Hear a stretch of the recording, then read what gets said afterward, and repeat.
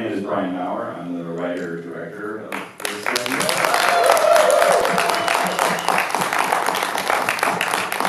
I don't know how I can paraphrase my experience shooting this, other than it's a very long story that I'm happy to tell. But um, it was a very, very good experience, a very interesting experience. Learned a lot about myself and filmmaking and storytelling and working with people. So it was a wonderful experience.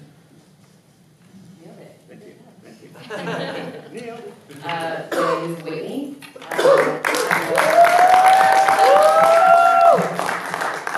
I'm related to all those people. That's Just pure family love.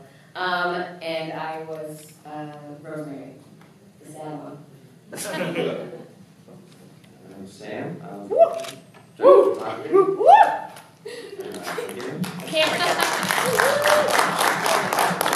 Uh, I, I guess I learned a lot from this experience as well. Um, and it's extremely hot. um, mostly it's interesting looking at it two years after you filmed it and seeing where you are now in life versus where you were. So that's kind of cool. Thank you. Uh, So a quick question for you. Um, Was this based off a true story? No, no, not based off of a true story. Um, in fact, this is, I used to run a literary magazine, and um, every day I'd write a short story for this magazine.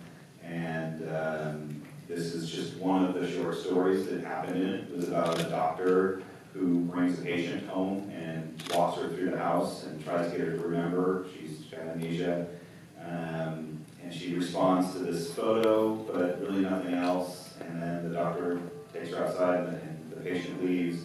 And you later find out that the patient um, was the doctor's daughter. And that the doctor was, was fake, it was just his house and trying to get her to remember. Um, so yeah, it was, it was just a, it was just a short story that was in a magazine. And over the course of seven years, wrote the script, and went through many, many different drafts. And uh, did, I think, seven or eight, and then shelved it for three years. Needed some time to get away from it, and came back three years to the date. Had written the date on uh, the envelope that I put it in, came back, and did a bunch more drafts. And at one point, we just decided, all right, let's do it. Wow. Yeah. Ta-da! So now, now what was your experience like uh, doing this feature film? I know you've probably done other feature films before this. I have. Um, So what was that creative process like? Uh, Did you just get into it? Did you have to get your feet wet? Um, I mean, what was it like organizing everybody? Can you kind of give the the audience maybe a visual of what that would look like? Um, How do you get the faith to put together a feature film, you know? Well, it involves trust. Um, you know, I, you know, from, from a creative standpoint, I turned to Sam and said, you know, I, I would really like you to create the visual approach to this film. I gave him an idea of what I was looking for, and I trusted him, and he created what you saw, you know. Um, same thing with all the actors, working with them. Um, I like think that we worked well and we just fostered the character, you know. Oh man, it sucked. It was terrible, terrible. Uh, it was, I mean, it was rough. You know, we, we shot for uh, 22 days in the middle of summer, in the middle of Missouri. In, you know, yeah, um, it was rough. And the house that we were in had one single air conditioner in the upstairs bedroom. And that's it. Uh, so I mean, it was it was physically very demanding to do this, um, bouncing around in the heat and everything like that, and all day in the sun. And then you add in just the sheer element of emotion that we put the actors through. Uh, I, I don't know how we survived. Is there a reason why you chose Missouri, uh, you know, to shoot? I mean, the location, scenery versus California or Sure. another state? Uh, well, for one, I live there, um, but always a good answer. But that being said, um, this is this is not a big city story. Um, the the house, the the the city that we filmed in is very much part of the story.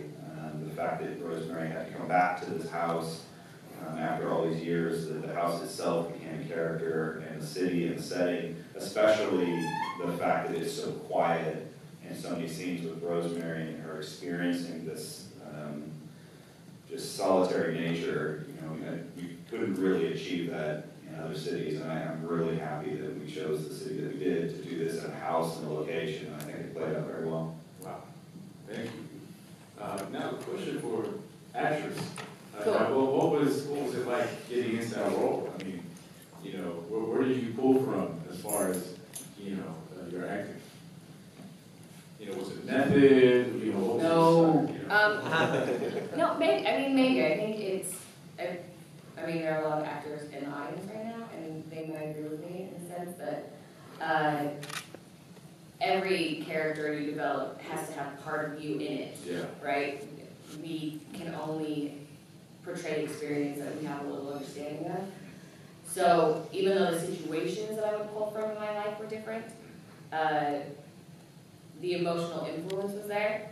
But I, I mean, obviously, I, I have never experienced like memory loss like that, or even that, that amount of loneliness that she went through, and like yearning and longing, and like just this, this melancholic nature that she has when she lost her mom. But I think everybody has experiences in their life where they do feel a little lonely. And it's literally my job as an actress to grow on that, like to grow with that and, and make it more dramatic, mm-hmm. which, Hey, this is, Well, this is, dramatic. this is a comedy, I don't know what you're talking yeah. about. Yeah.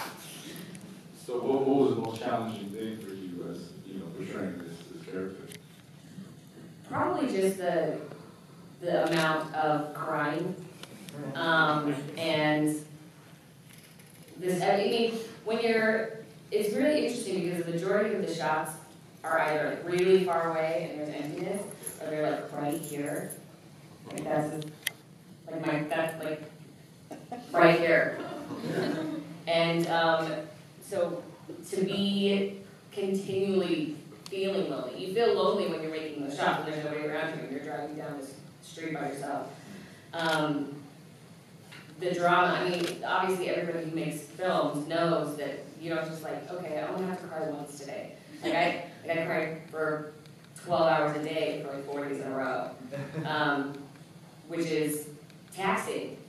And become, starts to become something that you can use in those scenes. Like sometimes I'm just really crying because you're exhausted and you're tired and you're feeling, you know, right? Yeah. Do it again. Yeah, right. Yeah, So yeah, but I mean, she Rosemary is a character that I think a lot of people can relate with. Um, given again, I think everybody feels lonely, everybody feels uh, a dissection from society sometimes, and that's I think that I think that's really relatable. Yeah, thank you. Yeah. Um, Now, just, this is a question just for each, each one of you. Um, Have you guys gotten any testimonies personally, people reaching out to you, uh, quote unquote fan mail? uh, You know, someone just really touched by the story that you really were able to relate to, connect with, write back to even? um, I mean, my mom's super into it. This is, this, she's seen it twice now. This is her second time seeing it. She's, so she's like, she's in it to win it. She's dedicated fan. Um, I, I have, I have, anybody like directly reach out to me, but uh, after the screenings, occasionally I have people come up to me and, and it really does illustrate really an interesting aspect of what I wanted from this film was that, um, everybody comes into it with a different background. Everybody sees every one of these characters differently than I did, differently than the person sitting next to me did. Um, some people really don't like Eric. Uh, some people understand what situation he's in. Some, some people really understand what's happened to this family and, and the, the pain it, and, and sheer level of apology internally that's needed to, to get to that last moment here. And so I have had some people come out and tell me that they, they, they haven't spoken directly that it has touched them in any particular way, other than that they say they really understand it and that were able to relate to it. And I don't really follow up with that because that's a very personal thing, and, and I want to remain that way. It's really important that everybody here and myself all have a very unique understanding of what this story was and how it affected you. Um, so that would, that be the feedback that I get on a regular basis, that I understand, I, I felt something for this character, I really understand, and, and it, it hit me. Ideally, people are crying all the time too. Just in the spirit of fairness, my dad also went around and asked everybody for their autograph today, so. That's He's- also He's a fan. big fan, fan. Or growing base. Um, so, you know.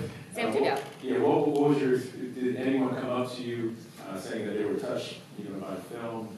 Uh, was it, you know, anything personal, uh, that just really hit home for you? Um, I guess as a director of photography, not really, no. Okay. Um, Yeah, no one, absolutely. I mean, People can say that they love it and it was beautiful. I um, love the angles, you know. but, yeah, I mean, um, I don't know. They have. I'll, I'll be I his think fan. I think, I think you, I think Sam, yes, thank you. Sam was really adamant about not only giving the film a, a, a particular look, a feel, which I'm sure you were able to gather, right? The past has this really sort of burnt look to it. Um, but also that a lot of what Rosemary experiences is built upon that image system that Sam put together of, of either right up close in your face or really far away when we wanted to show. It didn't really matter, he found the right way to make her feel isolated and the right way to make Benjamin feel trapped. So, um, Sam, I will be your fanboy. Also. Yeah. She, she's like a point five, so one point five.